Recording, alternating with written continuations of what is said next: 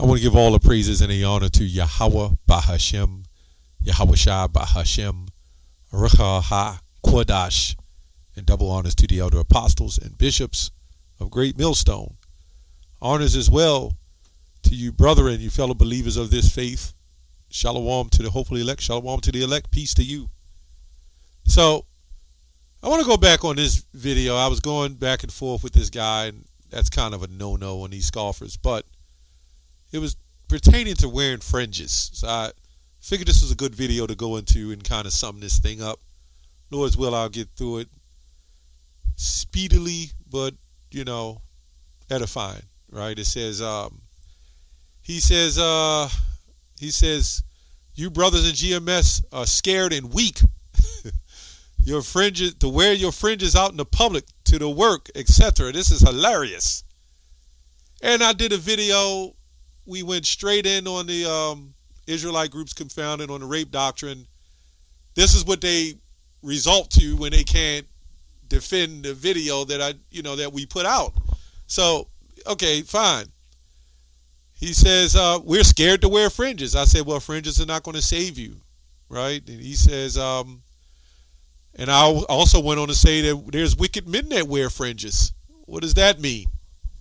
The Lord, the Lord didn't need fringes need us to wear fringes.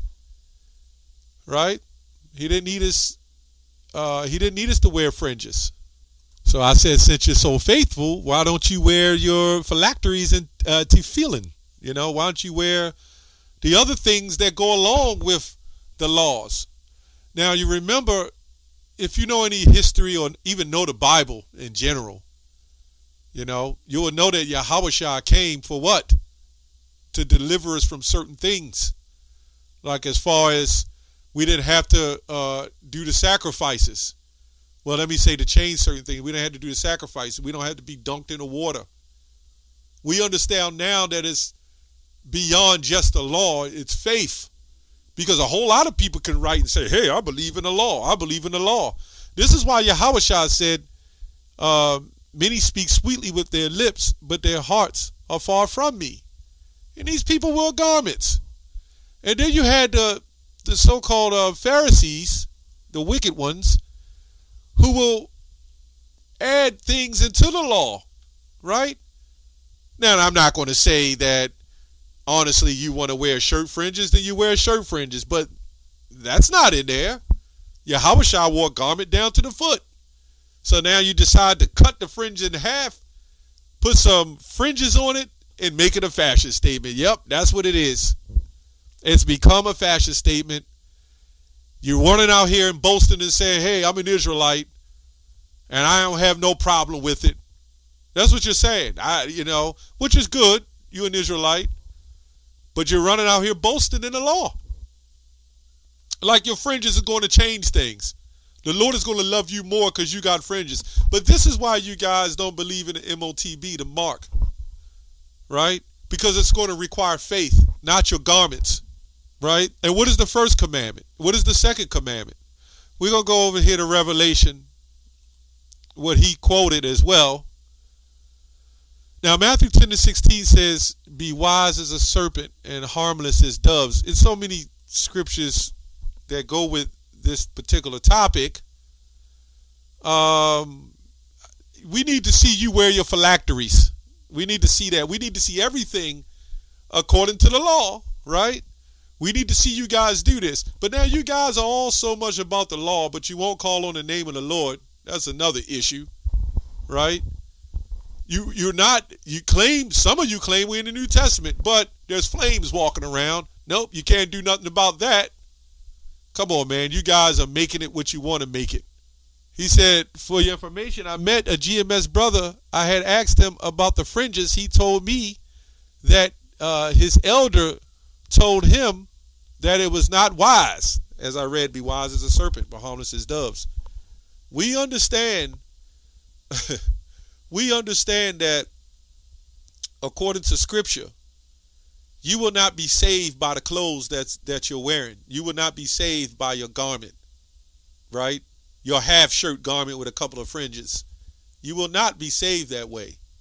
But you guys don't even teach the upcoming prophecy. the MOTB. You don't teach that. And you know what's going to happen? Just like the guy of IUIC, because this is IUIC follower, he took the thing, and I guarantee you, since they say they wear their garments all the time, he had his fringes on when he lined up to take the three pointer. You know, if he took the first one, he took the second and third uh, three point three pointer. He was on that basketball court taking them three point shots with his fringes. Anyway, let's go into some scripture. Uh, he quoted Revelation 22 and 14. Uh, but anyway, he says we're scared, right? Before I get there, let's go to, uh, since we're scared, let's get a scripture on that. Uh, going into that, because this guy says, let's go to John 8 and 59. Um, if you could read this whole thing, how they came at Yahushua. It says, Then they took up stones to cast him at him. But Yahushua hid himself and went through the temple, going through the midst of them, and so passed by. So would you call Yahushua scared? See, there's a time and a place for everything. There's a time for war, time for peace, so forth. There's a time, you know, where you're going to need your spiritual garments, you know, to uh, to endure in these last days. I guarantee you, your garment with a border of blue is not going to save you. Because if that was the case, everybody that wore their garments with the border of blue would be saved, wouldn't they? Right? Uh, you had Judas Iscariot. right? So anyway, Matt, Revelation 22 and 14. Blessed are they that do his commandments okay, that they may have the right to the tree of life and may enter through the gates into the city. So this is what you see these words commandments, and this is what they read, this is what they read, this is what they read, but they do not go into the words. They don't understand what they're reading. Now, of course, you keep the law, statutes, and commandments to the best of your ability. The first commandment, number one, now the question is, are you keeping the first commandment and loving the Lord with all your heart, soul, and strength if you're wearing a garment but don't consider the faith? Absolutely not. You're not loving the Lord. Because the Lord really, Yahweh, right? It was our custom, it was our tradition, and this is what we wore. And we still do.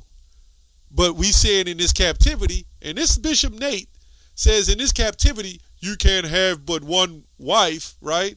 But in the time when we're not in our captivity, you can have multiple wives, which he lied on that because in Egypt, the men the men still had wives. That's how that's how they was multiplying. But he said whenever we're in captivity, we can't have but one wife. It's amazing. But you can wear all the garments you want, right?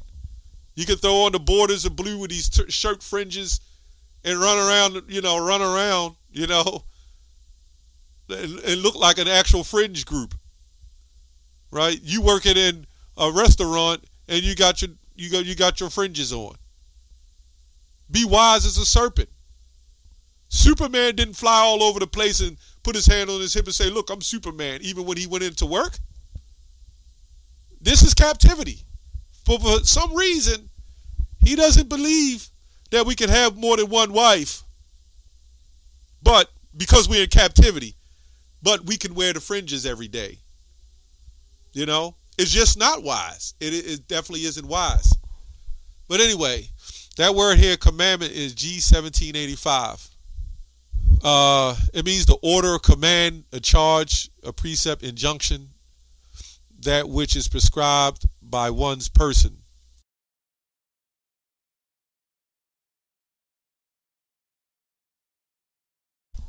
The other is the prescribed rule or coordinates, which is the thing is done. Now, when you really go into the Old English, which I pulled up, that word commandment wasn't there, by the way. It was just describing. Let's go in. It says, "Blessed is they that watching uh, their stewless, that the power of him be in the tree of life." Now, when you read the other translations, it says, "Blessed are them that watch their robes." Right? and it'll say some that wash their robes. So we understand that this is not technically getting some laundry detergent and washing your robes, right? This is why Yahweh came. Yahweh came for the elect, but it covers us uh, with with the mercy. This proves that we're not in the new covenant because he says he will not drink new until we, he sits uh, the wine until he sits with uh, the elect in the kingdom. So this is not new. This is not a new covenant. This is the covering. This is where we need the covering. We can't walk around if you got a a, um, a particular job and you go sitting there and you saying, "Oh well, I ain't scared." If we were scared, if we wasn't scared, if we were scared, we wouldn't be going out on the hedges every week. So this is a boasting thing. This doesn't mean that just because you don't wear your fringes, and we wear our fringes down to the foot. And in my profession, I can't work with no fringes, no no long garment dangling and hanging. Right? Anyway, um, now when you look at that word, blessed he that watcheth his stoolist or or robe, it actually comes from the word like what you would see stool, like when you sit on a stool or your actual you know stools. Um, when you go into when you go into that that word, let's see see what it means. Let's go into that word real quick. That word actually means, uh, for the Middle English, stool uh, it means a chair, a seat, a throne. From post West Germanic, chair. Right? Like when you see a stool, right? A, a seat. So basically, it means your throne.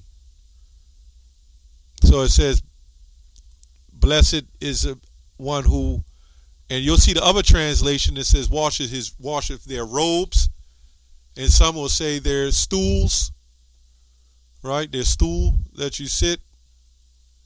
Um, pretty much, pretty much it. So you got to get to understanding what that's talking about. That's why the scripture says, "Awake, awake, put on that beautiful garment." It didn't mean specifically some pretty beautiful, glorious garment. Now you can do that if that's what you want to do. Depends on your spirit. But beyond garments comes faith. Right? Let's go to Romans. And then we'll get a little, I'll read a little bit on this too. Romans 3 and 27. Where is boasting then? Is it excluded by the law? By what law? Of works? Nay, but, but the law of faith. So it's going to be bigger than you wearing your, your garments. And it goes on to say that we conclude we're not justified by faith without the deeds of the law right? So it, it is a balance. You must follow the law um, and do to the best of what you can do, right? You follow the law, but at the you know at the end of the day, you if you can't if you got a particular job, you're getting on the buses, right? You carry that garment, you carry that spiritual garment within. Okay? And this kind of behavior makes you like a, uh, some form of a rebel Israelite. You are trying to bring attention to you. You're trying, uh, you know, you're trying to make yourself look like the tough guy when Yahweh is the is the tough one, right? He don't need you to be the tough guy. Like, look at me, I'm wearing my garment while you guys are afraid. You know how simple that sounds, man? where we're afraid to wear garments. When we put on garments and walk down the street, we go, I mean, when we go into the camps, we go to our camps, we throw on our garments, we're standing there with a camera on us for all to see, but somehow we're afraid. Come on, man. Matthew 23 and 1. Then spake Yahweh to the multitude and to his disciples, saying, The scribes and Pharisees sit in Moses' seat. All there for whatsoever they they, uh, uh, they bid you observe, that observe and do, but do not after their works, for they say and do not. These are the guys that don't want to call on the name of the Lord. Say you could call your Yoplait yogurt and jalapeno peppers. These are those guys that cut the, the long garments in half and put some fringes on it, make it a fashion statement. We understand younger guys do that. But they make a fashion statement, right? And still be smoking cigarettes, still committing adultery, putting fringes on their cars and their dogs and their pets. For they bind heavy burdens and grievous to be borne and lay them on men's shoulders. This is an example. Telling every brother to put on garments, no matter where you work. You can work at the air, you know, at the, um, the airport where they have like particular task force there, man. You're putting people uh, uh, lives in, uh, let me say, their careers or whatever in jeopardy because you want to look like the tough fringe fringe guys, you know. The Lord got you. That's you know now you could say, hey, well, you put on the fringes because you got to have faith. Well, you know what? We can walk through the shadow of the valley of death, right? And the fringe ain't going to save you. And they love the uppermost rooms in the feast and the chief seats of the synagogue. Yeah, these are men with fringes. And greetings in the markets to be called men rabbi, rabbi. Right? So the bottom line is this is what Paul was dealing with. You had Israelites saying that they're not wearing their garments. anyway, let's read a little bit on this. I didn't want to make this too long. It says, let me see if I can find it. It says a review of the consequences of process justif- justification. How does it affect the pretensions of the of the Jew? It shuts them out uh, by laying stress no longer on works, which were the proper fulfillment of the law of the first law, as it stood, but upon faith. Faith is the true medium of justification, and faith belongs as much to the Gentile as to the Jew of Israelites. For faith is the appointed appointed faith is the appointed means by which all mankind Israelites will be justified. And they will also be justified before the same tribunal, uh, whether they are of the circumcision or not, uh, to, the, to the point that we're going to be tried and we're going to need faith. We're not going to need garments. It is our heritage. It is our so you know tradition, if you want to call it that, and we go out and teach, and we wear our borders of blue. But to run around with a, if y'all go, if you guys going to do it right, wear the long garments, man. I be seeing some of the IUIC. Why don't y'all just walk around in long garments, the big combat boots, and march up and down the street? Go down like you went to the Barclays Center and this man went and gave money to some uh, Muslims or something. What are you guys doing it for, man? You claim you're doing it for the Lord. The Lord don't need you guys to do that. This also proves that we ain't in that time. You ain't in the time of Jericho. you're gonna march around and stand around, and then you get up and leave and go back home with your garments. Anyway, you guys are going to find that uh, men of the Lord are not going to need a bunch of garments. I mean, uh, uh, garments to wear every day, all day. You know, if if that's what y'all you guys do, then that's what you do. But you gonna come uh, sit sit here and call us scared? What are we scared about? We out every week. Wear your phylacteries, man. Go go the whole way. Go the whole nine. There's many other things that come with the commandments. But this is why I say it's a fashion statement because they'll just wear a little part. They'll put a design on the front, IUIC. Come on, man. United in Christ. First of all, Israel is not united in Christ, and Israel is not united amongst one another. Where you get that from? That's all I have on that. Shalom.